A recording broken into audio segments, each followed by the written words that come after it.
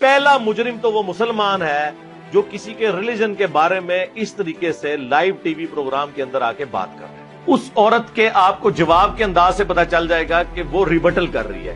क्योंकि जब वो मुसलमान ने वो बात की तो उसने कहा कि अच्छा आप अगर इस तरह की बातें करोगे ना तो हम भी ये कहेंगे। रुको जरा, सबर करो। रुको जरा, सबर करो। इस टेलर के ऊपर भी ये इल्ज़ाम था कि इसने सोशल मीडिया के ऊपर नूपुर शर्मा जो पिछले दिनों इंडिया में एक औरत जिसने टीवी टॉक शोज़ में आके मुख्तलिफ़ मौके के ऊपर नबी सल्लल्लाहु अलैहि वसल्लम और इस्लाम के हवाले से इंतहाई गुस्ताखाना जुमले इस्तेमाल किए।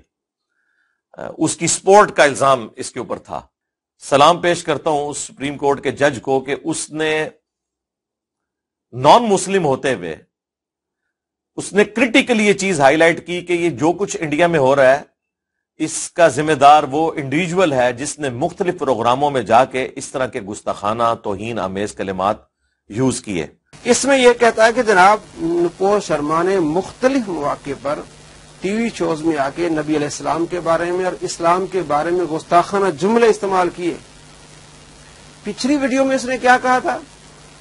कि नुपुर शर्मा को उस मुसलमान ने उभारा रिपटर के तौर पर उसने ऐसी बात की। अब यहाँ क्या कहता है? मुख्तलिफ़ मौके पर टीवी शोज़ पर, उसने इस्लाम और नबी इस्लाम के बारे में गुस्ताखाना जुमले इस्तेमाल किए। गुस्ताखी की मुख्तलिफ़ मौके पर। देखिए आप, किस तरह ये झूठ बाँध रहा है।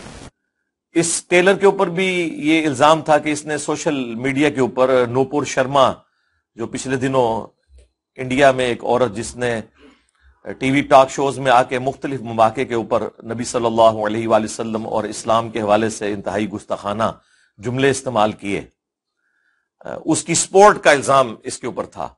सलाम पेश करता हूँ उस सुप्रीम कोर्ट के जज को कि उसने नॉन मुस्लिम होते हुए उसने क्रिटिकली ये चीज़ हाईलाइट की कि ये जो कुछ इंडिया में हो रहा है इसका जिम्मेदार वो इंडिविजुअल है जिसने मुख्तलिफ़ प्रोग्रामों में जाके इस तरह के गुस्ताखाना, तोहन, आमेज, कलिमात यूज़ किए।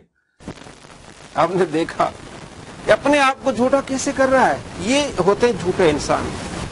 एक झूठ को छुपाने के लिए फिर कई झूठ उनको बोलने पड़ते हैं।